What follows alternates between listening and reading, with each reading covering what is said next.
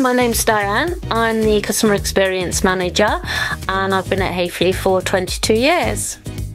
Hi, my name's Kerry. I'm the Customer Support Manager. Been at Häfele for 26 years. Out of those 26 years, I've worked with Diane for 22. So, fair to say that we work quite well together and you've loved every minute of it. Every minute. Häfele's approach to customer service used to be very transactional. It was quite simple. It would just be a simple phone call, um, a price, an order.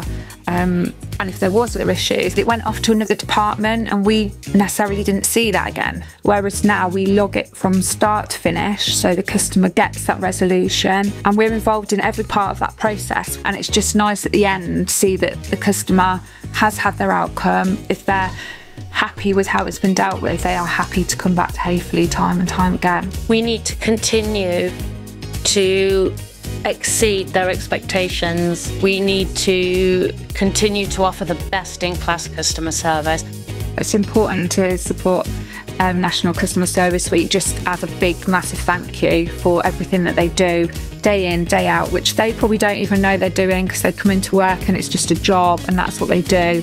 But not everybody could do it, and it's good to let the rest of the company know how they've fitted into all of that and what part they've played in it. So I think it's a real hats off moment to the people that do come in and do it daily um, and don't give it a second thought to them. It's just what they want to do and they want to be there for the customer.